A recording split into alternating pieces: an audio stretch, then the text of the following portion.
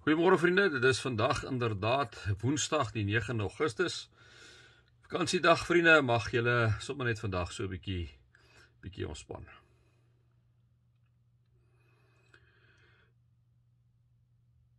Here, dankie dat ons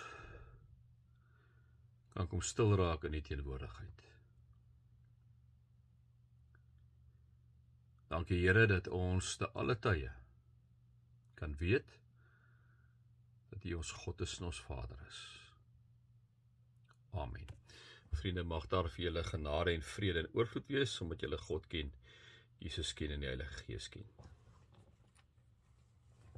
Ek gaan nou aan waar ek opgehou het vriende, ons is in Prediker 7. Ons het gister sommer so 'n bietjie stil gestaan by vers 13. Kyk na die werk van God. Wie kan regheid maak wat hy krom gemaak het, né? So vandag is vers 14. Wees bly op die dag van voorspoed En as daar 'n dag wat teëspoed kom, sien dit so, sê die prediker, sy siening. Soos die een het God ook die ander gegee, sodat die mens nie sal weet wat vir hom voorlê nie, né?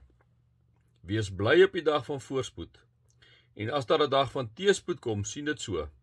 Soos die een het God ook die ander gegee, sodat die mens nie sal weet wat voorlê nie. Nou vriende, ek ek my lewensfilosofie is ook dat 'n ou en 'n vrou geniet die tyd wat die Here vir jou gee, né? Ehm um, Geniet jou vriende, geniet jou kerk, geniet jou uh, werk. As jy 'n bietjie op vakansie gaan, gaan 'n bietjie op vakansie. As jy by die see gaan, gaan stap, gaan stap by die see. Want ons weet inderdaad nie wat môre voorlê nie. Ons weet nie wat is ons gesondheid nie. Een oomblik is ons gesondheid reg, volgende oomblik is ons gesondheid weg, vriende. Ehm um, daarom geniet die dag, wees bly op die dag van voorspoed, né? Nee, wanneer dit met jou goed gaan, celebrate dit. Wanneer dit met jou kinders goed gaan, celebrate dit. Ehm um, want jy weet nie wat môre vir jou voorlê nie. Wat inderdaad absoluut wonderlik is dat ons nie weet wat môre vir ons voorlê nie. Dink vir 'n oomblik dat ek en jy weet wat môre sou gebeur het. Vriende, môre is jy miskien in 'n ongeluk. Môre is miskien as jy dood. Môre is wat ook al. Gelukkig weet ons dat die Here is vir ons so goed dat ek en jy eintlik nie 'n sekond of twee voor ons kan uitsien nie. Want dit sou ons so ontsaglik gespanne gemaak het as ek en jy weet liewe vriende, hoe die dag van môre sal lyk nie. As ons weet wat vir ons voorlê en ek dink ons moet vir die Here altyd dankie dankie sê daarvoor nê dat ons nie weet wat môre vir ons voorlê nie. Dat ons nie weet wat in die volgende uur vir ons voorlê nie, vriende.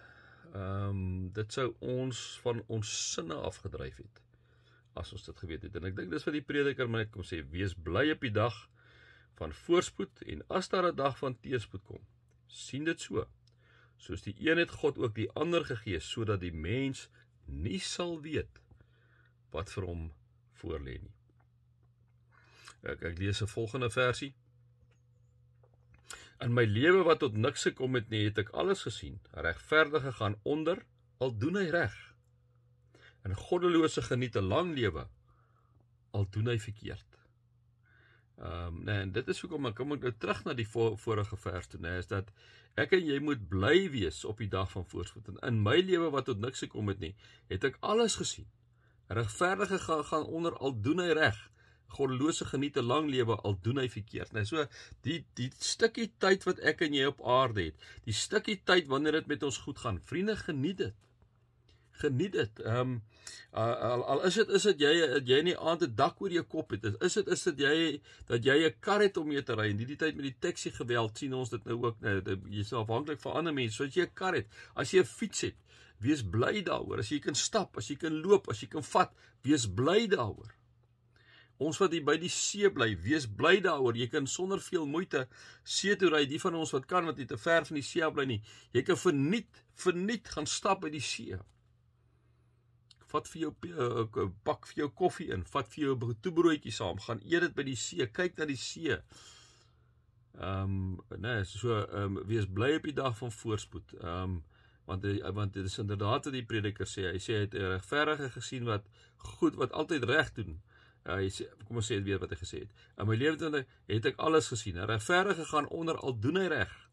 Goddelose geniet 'n lang lewe al doen hy verkeerd. En selfs daar liewe vriende, is daar nie 'n resep nie. Jy kan nie God dien sodat dit met jou goed gaan nie. Jy gaan jy dien God omdat hy in Christus vir jou aan die kruis gesterf het. Um, hy skuld jou niks, vriende. Hy skuld jou inderdaad niks. So wanneer dit goed gaan, geniet die dag van voorspoed want dan kom 'n dag van teëspoed nê. Ehm um, ook voor. So geniet die tyd wat ek en jy het wanneer dit inderdaad ehm uh, met jou met jou goed gaan. Kom ons kom ons volstaan net daarbey. Uh mag julle God se liefde ervaar, Jesus se genade ervaar, die Heilige Gees se teenwoordigheid ervaar. Amen.